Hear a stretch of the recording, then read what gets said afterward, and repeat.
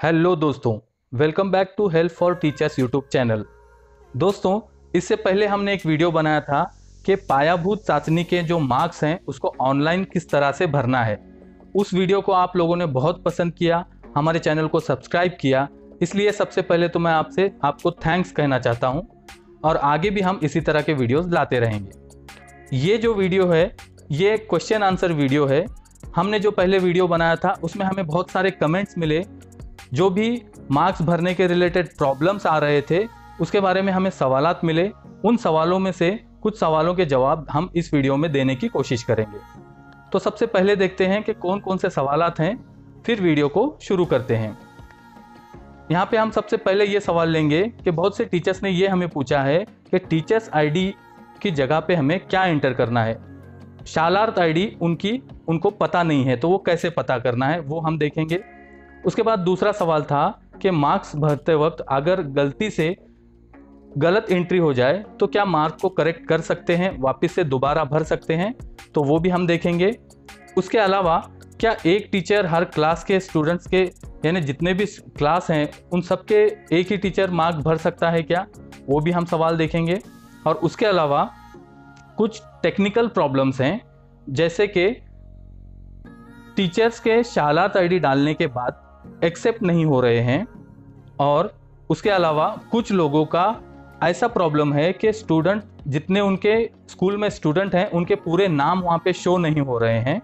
तो वो भी हम देखेंगे। और कुछ क्लास के मार्क्स यानी फिफ्थ और एट्थ के इंग्लिश के जो थर्ड लैंग्वेज है, उसके मार्क्स पायाभूत के जो पेपर मिले थे, उसमें अलग हैं। और स्विफ्ट चैट एप्लीकेशन में मार्क भरते टाइम वो अलग शो हो रहे हैं। तो ये सब टेक्निकल प्रॉब्लम जो हैं, उसके बारे में भी हम बात करेंगे। और ये जो टेक्निकल प्रॉब्लम्स हैं, ये जो हम इसका जवाब देंगे, वो हम जो महाराष्ट्र शासन का जो पायाभूत चाशनी का लेटर अपने को मिला हुआ था, उसमें यहाँ पे जो नीचे कॉन्टैक्ट नंबर दिया हुआ है टेक्निकल हेल्प के लिए, उनसे बात करने के बाद हम उन सवालों के जवाब आपको दे रहे हैं।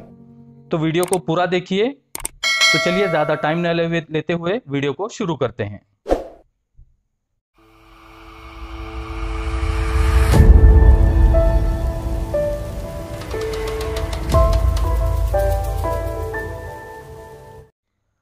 तो सबसे पहला सवाल देखते हैं कि टीचर आईडी की जगह पे हमें क्या डालना है। तो एमपीएसपी के तरफ़ से हमें जो पीडीएफ मिली हुई है, उस पर यहाँ पे साफ़ साफ़ लिखा हुआ है कि जो हमें टीचर आईडी डालनी है, वो यहाँ पे आप देख सकते हैं। शिक्षक code example zero two D E D से शुरू होने वाला। ये जो है, शालार्थ आईडी है। अब कुछ लोगों को शालार्थ आईडी अपना मालूम नहीं है तो वो कैसे मालूम कर सकते हैं? वो हम बता देते हैं कि जो भी आपकी पेमेंट फॉरवर्ड करते हैं, उनको आपका शालार्थ आईडी पता होता है तो आप उनसे कांटेक्ट करके शालार्थ आईडी मालूम कर सकते हैं। दूसरा सवाल देखते हैं। दूसरा सवाल जो हम देखेंगे कि अगर गलती से बाय मिस्टेक कुछ मार्क्स गलत इसमें एंट्री हुई हो तो उसको हम किस तरह से करेक्ट कर सकते हैं? तो सबसे पहले तो आपको यहाँ पे होम मेनू लेना है। अब यहाँ पे मैं होम मेनू लेता हूँ और उसके बाद रिकॉर्ड स्टूडेंट परफॉर्मेंस अब उसके बाद सिलेक्ट रिस्पॉन्स पे जाके आपको क्लास सिलेक्ट करनी है। जैसे मैं आपको बता देता हूँ कि फिफ्थ क्लास के जो है, मैंने मार्क्स आपको भर के बताया था तो वही क्लास को वापस से दोबारा लेता हूँ। अब यहाँ पे उर्दू फ़र्स्ट लैंग्वेज ही सिलेक्ट करता हूँ। अब यहाँ पे मैंने ये इन स्टूडेंट्स के मार्क्स भरे हुए हैं। अब मैं आपको बताने के लिए दोबारा आप यहाँ पे कंप्लीटेड यहाँ पे शो हो रहा है फ़र्स्ट स्टूडेंट का। अगर गलती से समझ लो, इसमें ही मार्क्स की रॉन्ग एंट्री हुई हो तो वापस से उस स्टूडेंट को सिलेक्ट करना है। मैं यहाँ पे आप फ़र्स्ट को ले लेता हूँ।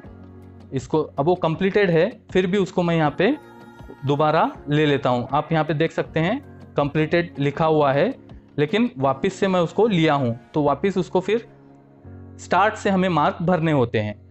तो मैं यहाँ पे प्रेजेंट करता हूँ। अब प्रेजेंट करने के बाद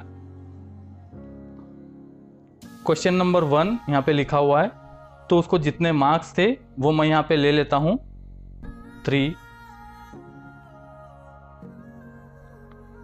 उसके बाद थ्री तो जो भी मार्क्स आपके रॉन्ग हुए हैं, उस स्टूडेंट को सिलेक्ट करके दोबारा उसके शुरुआत से मार्क्स आपको भरने हैं।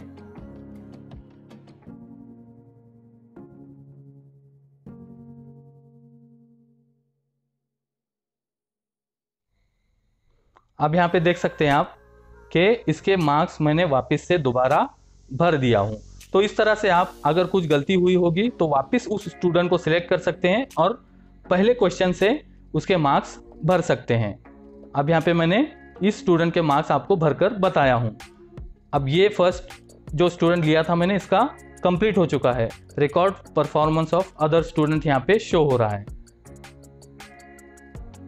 आप यहाँ पे देख सकते हैं, वही कंप्लीटेड ही है, लेकिन दोबारा से मैंने उसको मार्क्स भर दिया हूँ।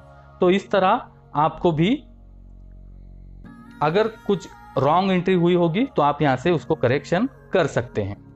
अब देखते हैं अगला नेक्स्ट क्वेश्चन अब अगला क्वेश्चन देखते हैं, क्या एक टीचर हर क्लास के स्टूडेंट्स के मार्क्स भर सकता है या नहीं?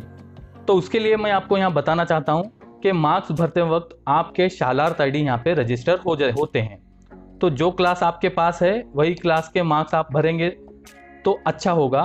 तो जो मार्क्स वी एस के तक पहुँचेंगे, यानी ये चैटबोर्ड में जाएँगे, वो आपके शालार आई से जाएँगे।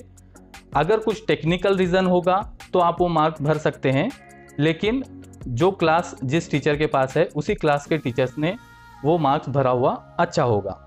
अब बढ़ते हैं अगले क्वेश्चन की तरफ़, जो टेक्निकल क्वेश्चन हैं, जैसे कि फिफ्थ स्टैंडर्ड का जो थर्ड लैंग्वेज है इंग्लिश उसके मार्क्स पायाभूत चाचनी पेपर में अलग थे और यहाँ पे स्विफ्ट चैट एप्लीकेशन में अलग शो हो रहे हैं।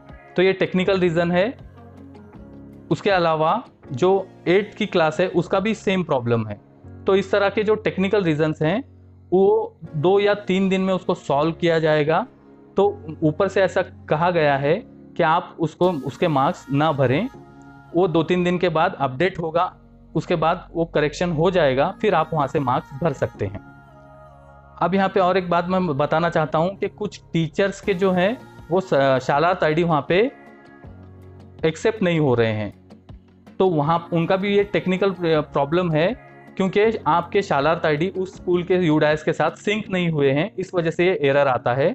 तो उसका भी अपडेशन का काम शुरू है, वो भी कंप्लीट हो जाएगा और उसके बारे में एक मैनुअल हमें मिल जाएगा दो तीन दिन के बाद।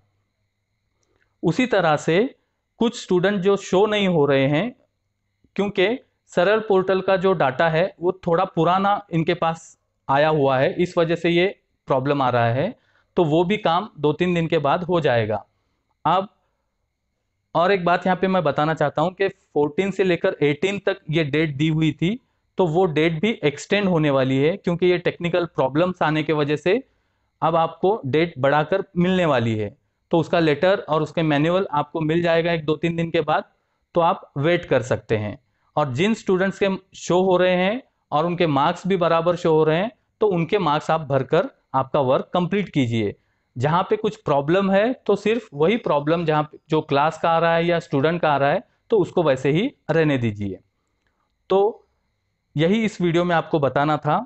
आई होप आप समझ गए होंगे। अगर ये वीडियो अच्छा लगा तो लाइक कीजिए, आपके टीचर्स के साथ शेयर कीजिए, और आगे इसी तरह के वीडियोस को देखने रहने के लिए हमारे चैनल को सब्सक्राइब कीजिए। Thank you for watching